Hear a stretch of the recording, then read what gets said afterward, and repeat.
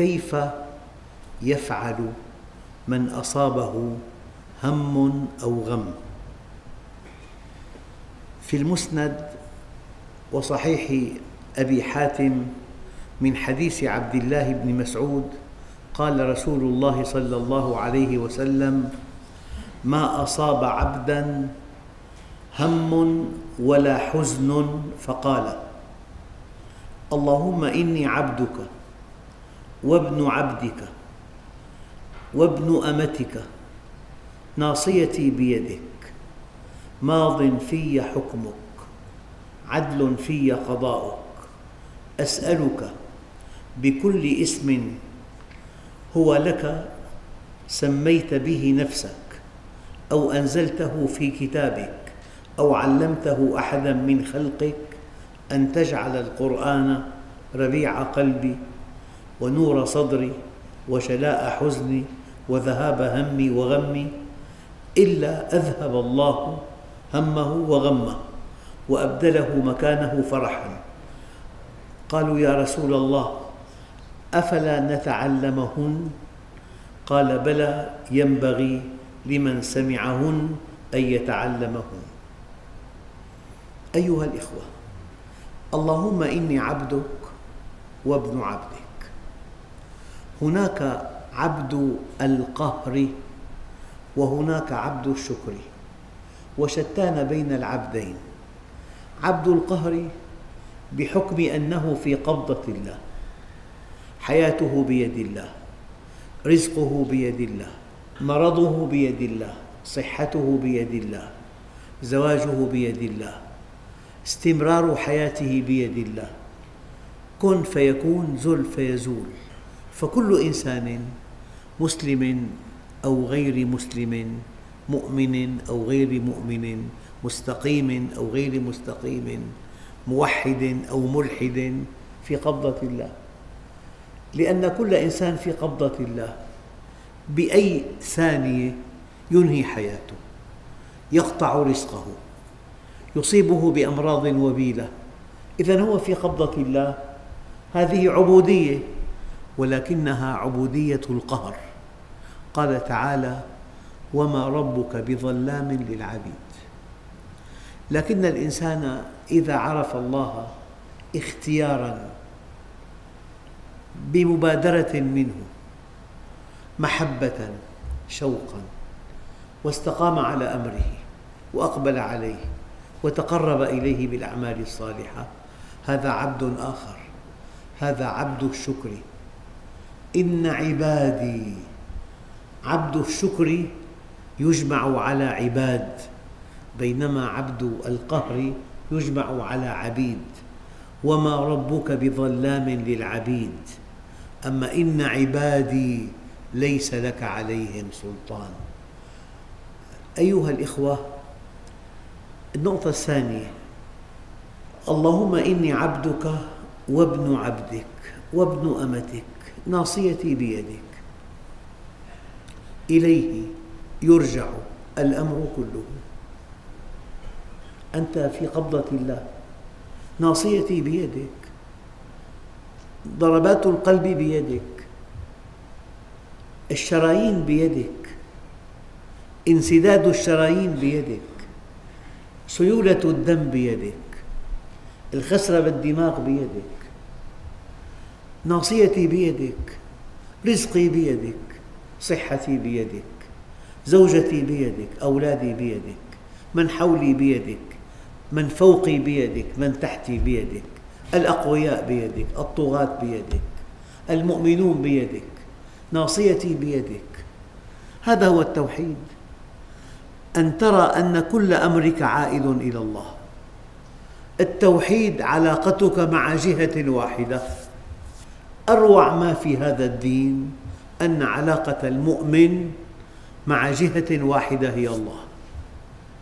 يرضي الله فإذا أرضى الله أرضى الله عنه كل الخلائق. وإذا أحب الله ألقى محبته في قلوب الخلائق. وإذا هاب من الله ألقى هيبته في قلوب الخلائق.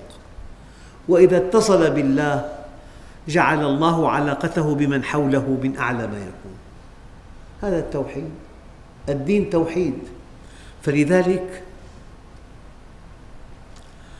من علامات أنك عبد لله أنك تلتزم طاعته وتلتزم الخضوع له والإنابة إليه وامتثال أمره واجتناب نهيه ودوام الافتقار إليه واللجوء إليه والاستعانة به والتوكل عليه والعياذ به وألا تعلق قلبك بغيره بل تحبه وتخاف منه وترجوه وتعظمه. هذا معنى العبودية لله عز وجل. هذا معنى عبد الشكر. أيضا أنا يا رب عبدك من جميع الوجوه. والإنسان المؤمن عبد لله صغيرا كان أو كبيرا حيا أو ميتا مطيعا أو عاصيا معافا أو مبتلا. عبد لله بقلبه بجوارحه بلسانه. من معاني العبودية لله ليس لك من شيء الأمر كله لله. قل إن صلاتي ونسكي ومحياي ومماتي لله رب العالمين. لو تعمقنا كثيرا في مفهوم العبودية النبي عليه الصلاة والسلام في أعلى درجة وصل إليها بشر عند سدرة المنتهى قال تعالى فأوحى إلى عبده ما أوحى. العلاقة عجيبة. كلما خضعت لله رفعك الله كلما تذللت أمامه في مناجاتك أعلى قدرك ورفع ذكرك وثبط عدوك ووفقك ونصرك من معاني العبودية أن كل ما تملك لله يعني مرة واحد سأل عالم قال له كم الزكاة؟ قال له عندنا أم عندكم؟ قال له عجيب. ما عندنا وما عندكم. قال له عندكم ربع العشر. أما عندنا العبد وماله لسيده. وهذا معنى قل إن صلاتي ونسكي ومحياي ومماتي لله رب العالمين.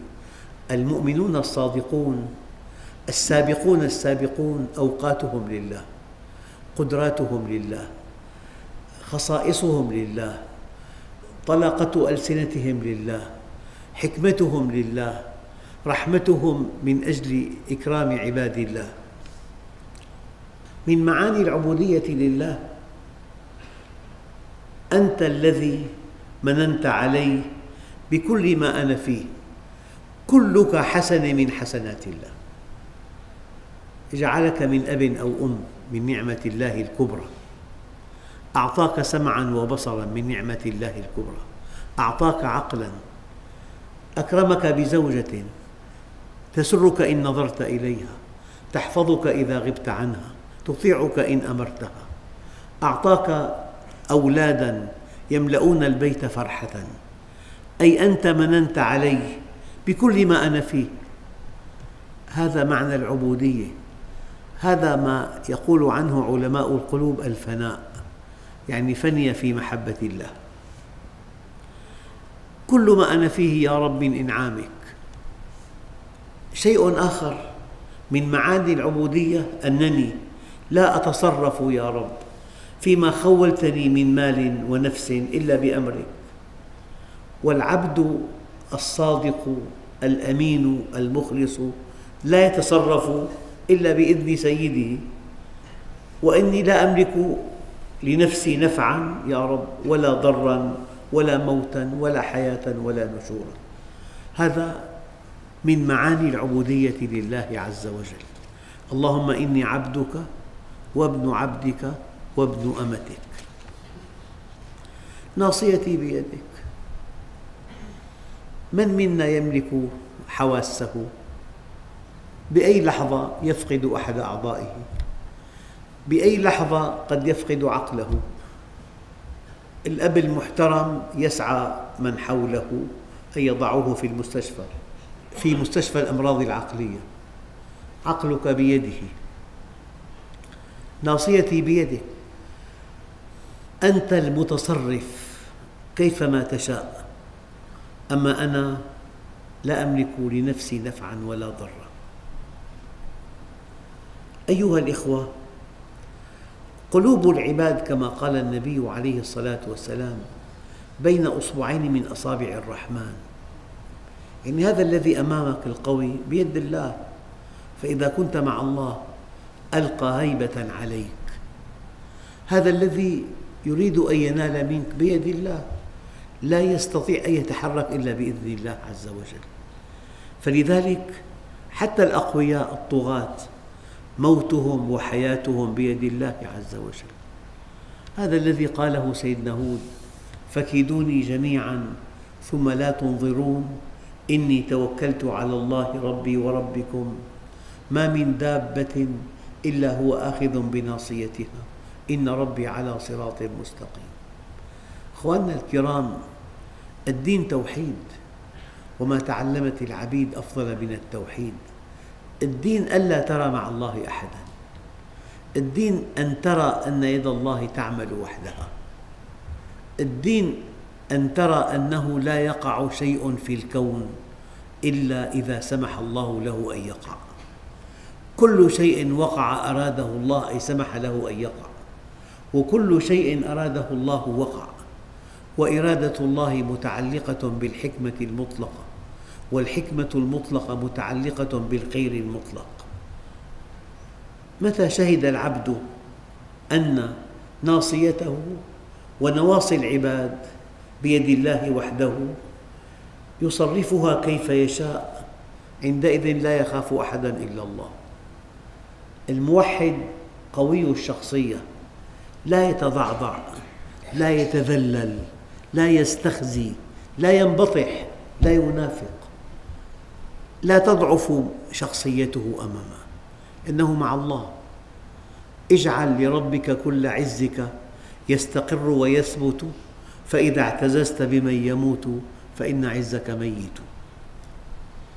متى شهد العبد أن ناصيته بيد الله وأن نواصي العباد بيد الله أيضا؟ يصرفها كيف يشاء.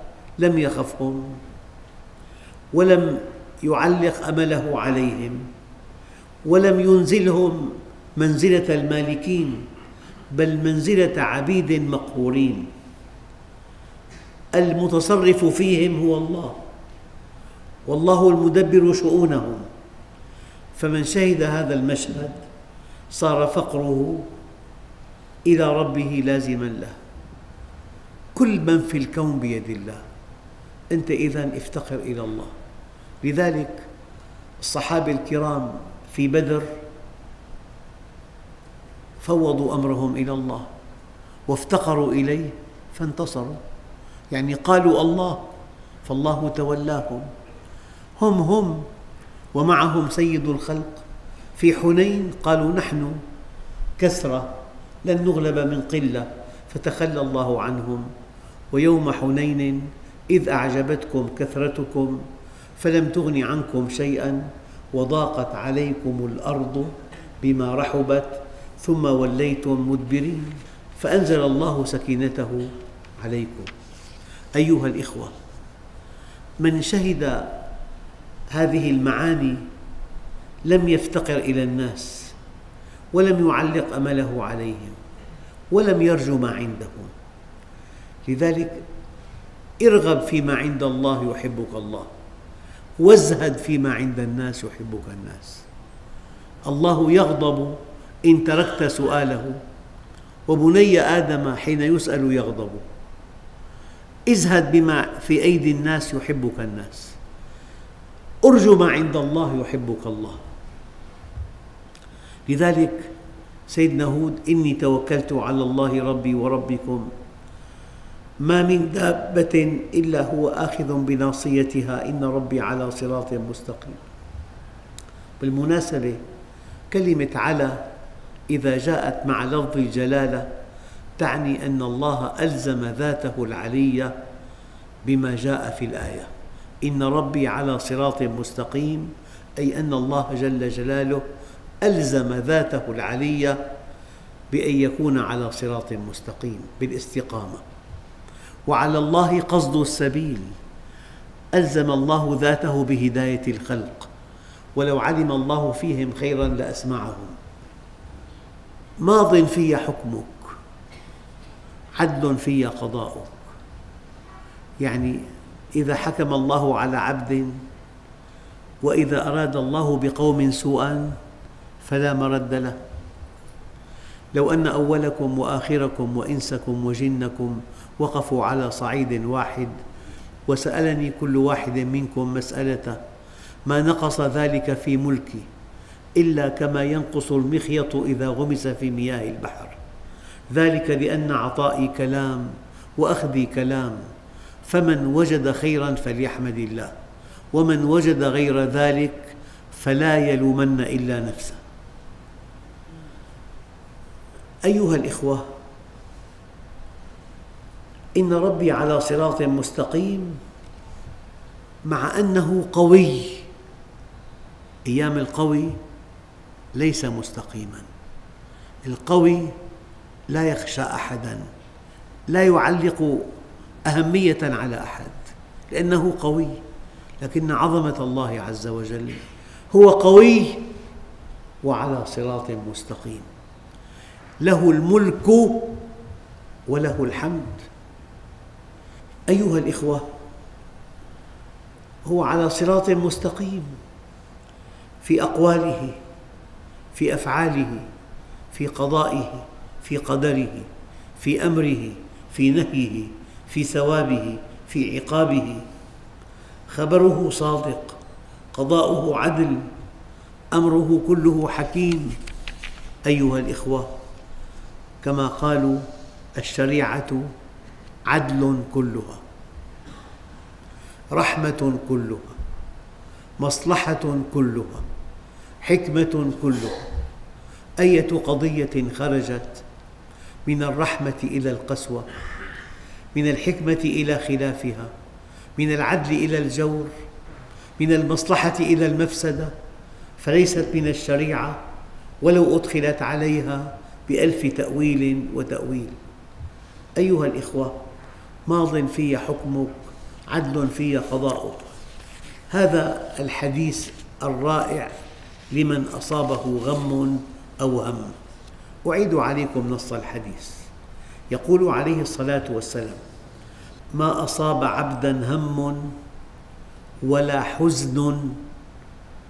فقال اللهم إني عبدك وابن عبدك وابن أمتك ناصيتي بيدك ماض في حكمك عدل في قضاؤك أسألك بكل اسم هو لك سميت به نفسك أو أنزلته في كتابك أو علمته أحدا من خلقك أن تجعل القرآن ربيع قلبي ونور صدري وجلاء حزني وذهاب همي وغمي إلا أذهب الله همه وغمه وأبدله مكانه فرحا. فلذلك طبيعة الحياة الدنيا فيها متاعب فيها أحزان فيها هموم. فالمؤمن إذا أصابه هم أو حزن عليه بهذا الدعاء الذي علمنا النبي إياه.